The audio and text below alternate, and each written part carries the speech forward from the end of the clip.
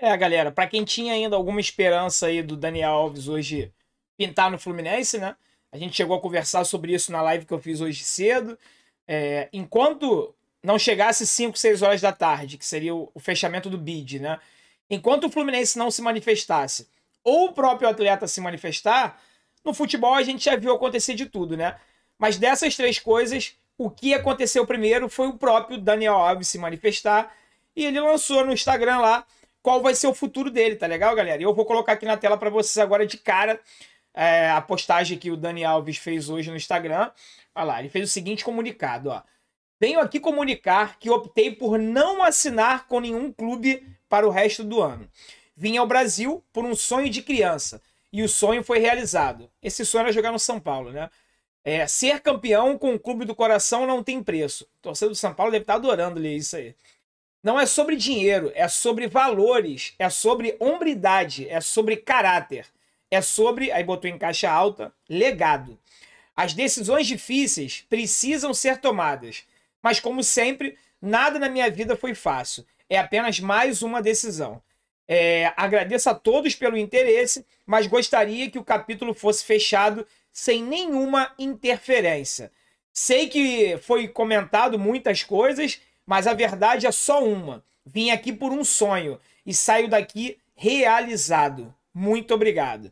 Então, esse foi o comunicado aí, galera, do Daniel Alves. E assim, fica muito claro agora que o Daniel Alves não negou o Fluminense, né? Na verdade, ele negou todos os clubes, todas as propostas, inclusive o clube na qual os torcedores estão vindo aqui no canal e todos os canais de Fluminense queria falar gracinha, fazer graça. Ele negou vocês também, tá? Da mesma forma que ele não aceitou a proposta do Fluminense, ele não aceitou a sua proposta também, que inclusive ele é amigo do seu presidente, ele é amigo do seu presidente, amigo pessoal, amigo de pelo menos metade do time de vocês, já jogaram na seleção, já jogaram juntos na Espanha, e também negou vocês. Então fica na tua, não precisa sair invadindo o canal dos outros, escrevendo gracinha. O Dani Alves, ele, ele optou por não jogar por nenhum clube brasileiro. Pelo visto, ele vai ficar sem jogar até o final do ano, tá? Ou vai fechar com algum clube de fora, não sei. Né? A partir de agora não, não interessa mais a nós, torcedores tricolores, qual vai ser o futuro do Daniel Alves, né? Mas a pergunta que eu me faço é o seguinte: para que abriu negociação então? Para que, que ficou conversando esses dias todos com o Fluminense? Os outros clubes também não me interessam, tá? A minha pergunta é: para que abriu negociação? Para que fez proposta? Será que realmente ele optou por não fechar com nenhum clube brasileiro. Por causa desse negócio aí de legado, hombridade, caráter, que ele quer sair, pelo visto, pela porta da frente do São Paulo tudo mais? Ou será que é porque ninguém aceitou pagar o que ele pediu de salário? Um milhão de reais. Né? Porque é muito fácil no último dia da janela, depois que ninguém aceita pagar aquilo que ele quer, ele falar que ele optou, tudo bem, ele pode ter optado, porque se ele quisesse baixar o salário dele, ele escolheria qual clube ia jogar, né? Imagina o Daniel colocando um salário de 500 mil reais. Praticamente mais da metade dos times da Série A poderiam pagar um salário desse para ele. Então ele pode falar que optou no sentido de, não, o salário que eu quero é um milhão. Se alguém me pagar, eu jogo. Se ninguém me pagar, eu vou optar por ficar parado. Até aí, tudo bem. Agora, essa história que ele negou o Fluminense, não, ele não quis jogar no Fluminense. Aí vem uma galera querendo depreciar o tamanho do Fluminense. Galera, isso não existe. O Daniel Alves, ele não é maior que nenhum dos 12 clubes do futebol brasileiro, tá? Pelo menos. Pelo menos. Então, assim, sem essa de depreciar o Fluminense, você, torcedor tricolor, tô envergonhado, tô triste. Triste de quê? Tá aí o comunicado do cara agora, ó. Foi opção pessoal dele ficar parado até o final do ano. E daí em diante ele vai fazer o que ele bem entender da vida dele, tá? Esse é o primeiro ponto. Aí eu sei que você tá aí, André, mas e aí? O Flu vai anunciar alguém ainda hoje? Cara, acho muito improvável. Acho muito improvável. Eu acho que a diretoria ela vai guardar, entre aspas, esses 300 mil que está sobrando, que vai sobrar a partir desse mês agora do Nenê, né? Sempre quando eu falo sobrar, galera, porque era um salário que a gente pagava e agora vai deixar de pagar porque o Nenê não joga mais no Fluminense. A diretoria vai segurar essa grana, vai ter as dispensas no final do ano, sim, desses cinco jogadores que terminam o contrato. Eu apostaria na saída iminente, quase certa, de praticamente três, tá? Três pelo menos eu considero que sai. Tá acabando no final do ano. Abel, Bobadilha, Egídio, Hudson e quem mais outro? Tem o goleiro, né? O João Lopes também. Tem essa situação aí do, do Wellington, que ninguém sabe se vai ter essa renovação automática, se não vai, ó. Só aí já são seis. Aí tem o Reginaldo, aquele zagueiro, que ganha pouco, mas é um dinheiro também a ser economizado. Quando você coloca no montante de um ano, é uma grana boa. Então, assim, no final do ano, o Fluminense pode economizar pelo menos aí um milhão de reais com a saída de três jogadores, tá? Bobadilha, dependendo do que ele fizer até o final do ano, eu renovaria com ele. Até porque o passe do Bobadilha, que o Fluminense tem direito à compra, né? Foi passe fixado. Empréstimo com passe fixado. É aproximadamente 700, 800 mil reais. E esse valor pode ser parcelado. Então, assim, nesse mundo do futebol, para você comprar um jogador por 700 mil reais, eu não acho muita grana assim. Daria para o Fluminense pagar e comprar o Bobadilha caso ele continue aprovando até o final do ano. Porque eu acho que até aqui, o que ele fez até aqui, eu acho que é um caso sim a se pensar, ele pode nos ajudar nas próximas temporadas. Agora, Abel, Egídio, Hudson. O Hudson só se não se recuperar do joelho, tá, galera? Aí o Fluminense vai ter que postergar por mais três meses apenas.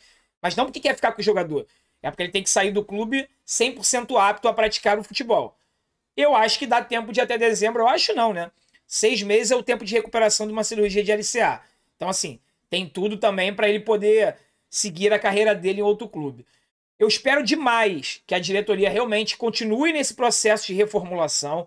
Continuar, André? Sim, continuar. O Nenê iniciou esse processo de reformulação. Tem outros jogadores com contrato até o final do ano que vem que o Fluminense podia chamar para conversar. Casares, Danilo Barcelos, Matheus Ferraz, Muriel, Paulo Henrique Ganso. Será que esse cara realmente vai ficar cinco anos no Fluminense sem agregar, sem ajudar em absolutamente nada? Não é possível, né? Não é possível. Então, um jogador que o Fluminense tinha que chamar para uma conversa séria, o Mário, o Angione, sentar com o Paulo Henrique Ganso, bicho, fazer uma rescisão amigável aqui. Sei lá, faltam dois anos e três meses de contrato. Agora nem pode, né? Porque ele tá se recuperando do braço lá. Em janeiro de 2022, a gente tem dois anos de contrato. Eu te pago um ano de contrato e o outro contrato, o outro ano você abre mão. A gente parcela isso aqui em três anos e você segue a tua carreira em outro clube. Negociação, galera que não pode é o Fluminense ano que vem passar a pagar 500 mil reais ao Ganso para o cara não jogar. É isso mesmo, tá? A cada virada de ano, o salário do Ganso aumenta. Aumenta. Então a expectativa é de, a partir de janeiro de 2022, ele ser o maior salário do elenco. 500 mil reais, até engasguei aqui agora. Engasguei falando salário do Ganso. É surreal. É surreal, tá? Então, assim, eu acho que. Eu sei que todo mundo fica preocupado com reforço, a gente quer um time mais forte e tal. Mas hoje fecha. Hoje fecha. Se até 5 horas da tarde o Fluminense não anunciar ninguém, acabou. A gente vai ter que ir até dezembro com esse time que tá aí e a gente tem que abraçar e apoiar e tentar ajudar o Fluminense o máximo possível, tá? Terminou o Campeonato Brasileiro, o nosso principal reforço vai ser a reformulação. Vai ser a saída desses atletas para poder abrir espaço na folha e abrir espaço no elenco para que novos jogadores possam chegar. Outra coisa, quer ver um reforço importantíssimo que a gente pode ter ainda nessa temporada é conquistar a vaga na Libertadores da América. O fato do Fluminense disputar a Libertadores ano que vem vai ser a garantia da chegada de grandes jogadores. Jogadores com potencial muito alto, maior do que esses que vieram esse ano. Porque afinal de contas a gente só reforçou o banco de reservas, né? Porque o time titular foi praticamente o mesmo que já vinha atuando. Mas eu acredito sim que o Fluminense disputando a Libertadores 2022, os reforços vão chegar e com essa atitude da diretoria em tentar o Daniel Alves, isso me mostra que a diretoria do Fluminense está pensando grande em contratar grandes jogadores que possam fazer a diferença. Mas isso não significa pagar 700, 800 mil reais para cada jogador. Eu ia falar um outro termo, mas enfim. Vai falar cada perna de pau que apareça por aí, tá? Não é porque um jogador argentino de 22 anos tem potencial e quer ganhar 150 mil dólares, 100 mil dólares, que o Fluminense é pagar o Daniel que tem que pagar esse cara. Não é bem assim. É meritocracia, galera. Se o Daniel ia ganhar isso, é porque ele construiu toda uma carreira, foi eleito oito vezes ou nove vezes o melhor lateral do mundo, é o jogador com a maior quantidade de títulos do mundo. Então, assim, ele construiu uma carreira que ele pode chegar hoje e escolher quanto ele quer ganhar. Os outros atletas não, né? Tem que comer muito arroz e feijão para poder chegar lá. Então, muita calma nessa hora. Tô gravando esse vídeo por volta de duas horas da tarde.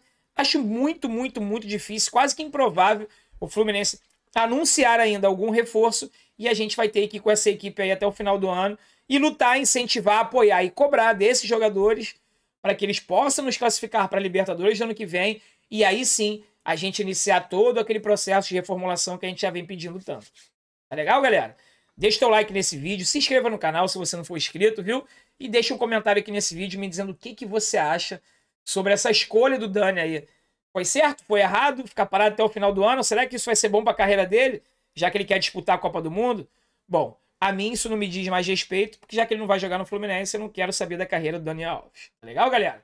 Fique com Deus, tropa. Um forte abraço e saudações tricolores.